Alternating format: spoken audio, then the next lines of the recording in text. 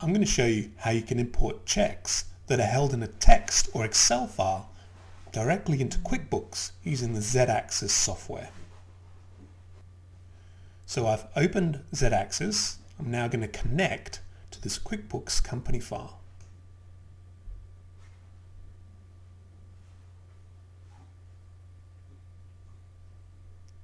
Next, clicking on the Import tab, I'm going to browse to the file that contains the checks that I wish to import. In this case, they're held in a text file. So once the file is open, you'll see in this preview panel the contents. So in this example, I've got two checks, one containing two rows and another one containing three rows. The first check is written to expense accounts and the second check is purchasing items. So now I'm going to add a mapping. So we select the transaction type that we wish to import.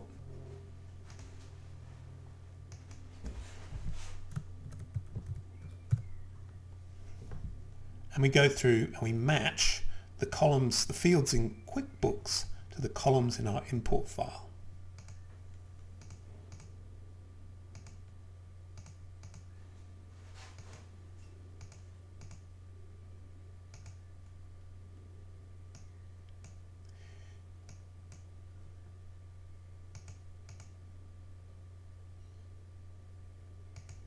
Now you don't need to map all of the fields, only the mandatory fields here,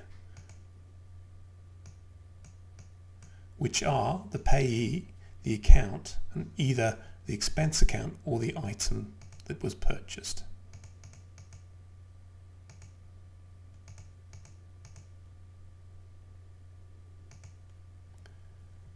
Once I've set up the mapping, click on Save and you'll see in this preview that now only the columns that we mapped will show. Now we're ready to try our import. Click on Import. Zed Axis will validate the data to make sure it's in the correct format. And then it will go through and automatically import those checks directly into QuickBooks. Now when we're finished, we can click on View. It will take us into QuickBooks and we can see the check we've just imported.